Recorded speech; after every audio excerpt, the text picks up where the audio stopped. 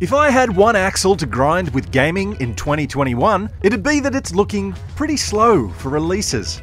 That being the pace, I figured I'd speed things up for myself by getting all sorts of sideways in a good old fashioned arcade racer.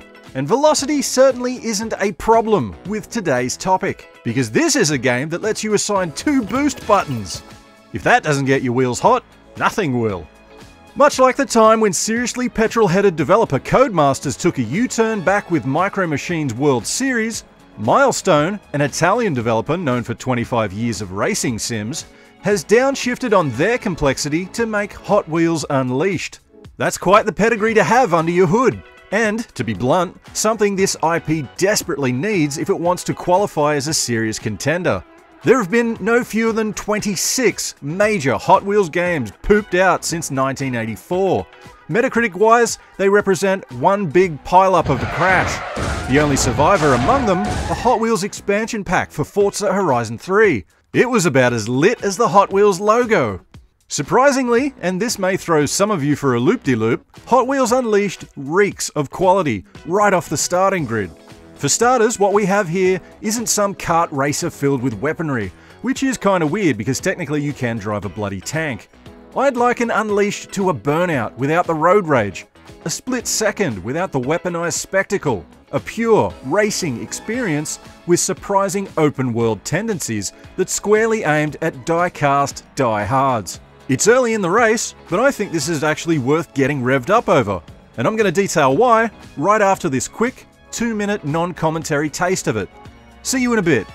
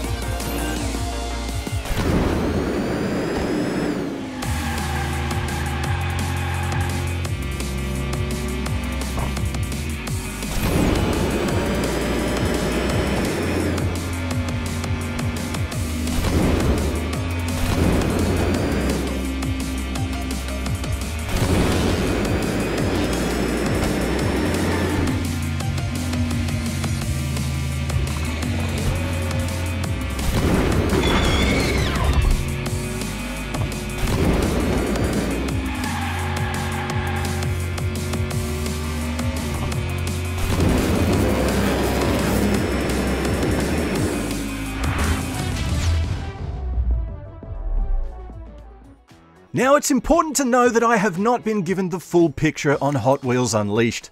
My hands on preview build only had so much content to tie a kick. The only game modes available to me were Quick Race and Split Screen. The former lets you choose your car, a track, and then compete instantly against 12 AI. The latter, Local Multi mode, was only two players max. That said, I'm told that come day one, we're also going to get a career mode, time attack, and online multi for 12 players. Likewise, I was only allowed to get sideways with 28 cars on 9 tracks. The full game is going to be rocking a total of 60 increasingly weird die-cast cars on 40 tracks. And I can only hope that that will include my personal favourite Hot Wheels, the Homer. And if you're taking suggestions for stats milestone, it should be powerful like a gorilla, yet soft and yielding like a Nerf ball. When it comes to tracks, all of the circuits you'll be zipping along will be cobbled together from those actual plastic fantastic strips that you can buy in the store. That said, they're modelled and set in actual physical spaces, themed real world environments that are way more interactive than you'd probably first imagine. I got to see four of those. The first was the garage, or if you think that's too fancy a term, car hole. It was a once celebrated and distinctly 1980s car shop that's now been left in ruins. The second was a college campus, which is comprised of like a library, classroom, and chemistry lab, all interconnected by a main hallway. There was also a skate park that makes up for its lack of furnishings, with fully sick ramps, rails, and exposed beams. Finally, there was the impressive visuals of a skyscraper under construction. Truly the best environment you could hope for for a bunch of kids playing with toy cars. Safe as, mate. Interestingly, I'm told that there are two more environments yet to be unveiled. At least one of them will serve as a kind of home base for you. Details are kind of scarce here, but Milestone says it will be a customizable space, looks wise. And I'm guessing that just ties in with the track builder, which allows you to knock together a spaghetti mess of track pieces and then share your creations with the community. And that's something you can do with the livery editor too. And I bet some of you are gonna go nuts with this, though good luck trying to create a livery that is more suggestive than the Wienermobile.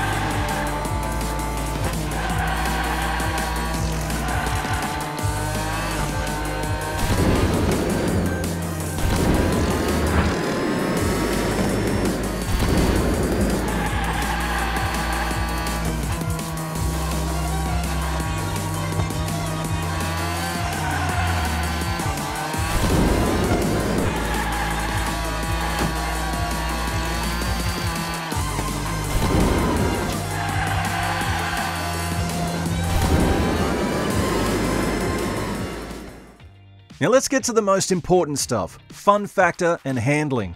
When it comes to feel, Unleashed veers towards decidedly leashed physics, with the odd nitro burst of occasional hilarity. On the surface, what we have here is a simple drift system that is initiated with one pump of your brake, and then you can fairly easily adjust your over and understeer by either turning sharper, boosting, or throwing out the anchors again. Kind of like Burnout Paradise, which type of boost system you'll get all depends on the car selected. Some come with multiple tiers, some don't, and every vehicle feels like they have their own distinct personality. For example, you might find a Formula One variant that requires a grip racing touch. Others work better if you throw your buns out behind you and point your wiener hard at the apex sweet spot. Admittedly, the enemy AI is not the most reactive I've seen in the genre, but this is all perfectly acceptable preview build stuff.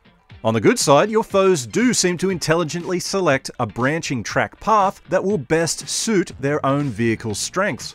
Also, I haven't witnessed them make any dodgy do-it-yourself shortcuts, something that's incredibly satisfying if you manage to pull off yourself. Because if you do go off-road, Unleashed will never grab you by the scruff of the neck. You can literally ditch the race and just go bombing about the world like you're playing some sort of interactive Honey I Shrunk the Kids movie.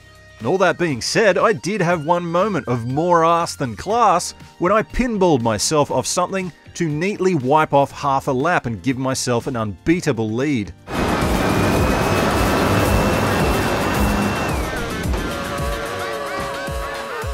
Attempting something like that will represent an incredible risk reward. Cheerworthy stuff if it benefits you and you do it, but it's going to suck if you're on the receiving end of it. I'm hoping that they're more freak occurrences rather than learnable, massively exploitable things. But I guess we'll just have to see where Milestone's head is at. As for downsides, it seems to me that the respawning system in place is more up and down than the jump happy tracks you're racing on. It's great that it's basically instantaneous, but sometimes you're thrown way too far back. But I just think that's tweakable stuff that we probably shouldn't be too worried about. So back to the positives. The split screen here appears to be in rock solid shape, but I really would have liked to have had access to 4 player mode. Also, for you fellow dads out there, I did the kid test by having my two sons play one another. Specifically, they decided to settle some scores that I didn't even know existed. Hot Dog Car versus Burgermobile, and Stegosaurus versus Velociracer. May the best freak win. you know what? I think they had a lot of fun playing it. That said, I don't think Unleashed is going to take the checkered flag when their family game night choices are Mario Kart or Crash Team Racing. Mind you, when it comes time for me to show them the track editor, it could reshuffle Unleash right to the front of that starter grid. That thing could be a game changer. Also, it just occurred to me, why am I trying to tell you when I can just show you? Here's how split screen gets done. This is a little grudge match between the 8 and 11 year old heirs to my throne. Enjoy!